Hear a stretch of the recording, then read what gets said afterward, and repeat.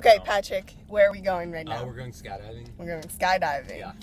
So two years ago, we were in Monte Palette Hum, and since our birthday is two days apart, we decided for our 18th birthday we'd both go skydiving together. Yes. So we were about almost halfway there, and I realized that I forgot my ID.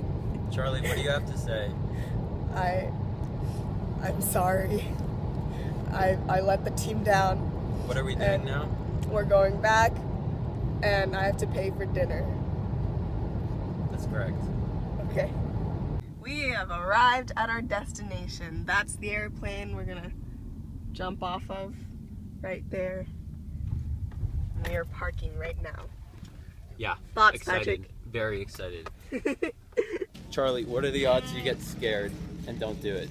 I'm saying one Um, in four. I'm yeah, I'm also saying one in four. I'm actually very, very nervous right What now. What are the odds I do it? One in one.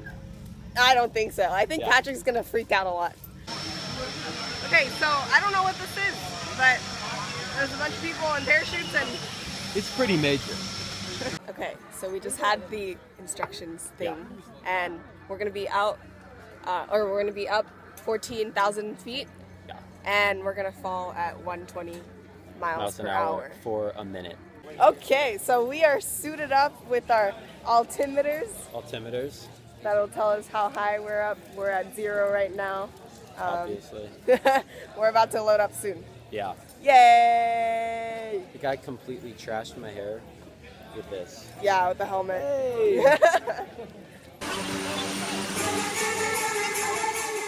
What brings you out to make a jump today? um, it's my 18th birthday present. Happy birthday. Awesome. All right, well, in just a little bit, we're going to climb into that plane over there. We're going to fly at two and a half miles, jump out, fly back down well over 100 miles per hour. You ready? All right, I'm ready. I will see you on the plane.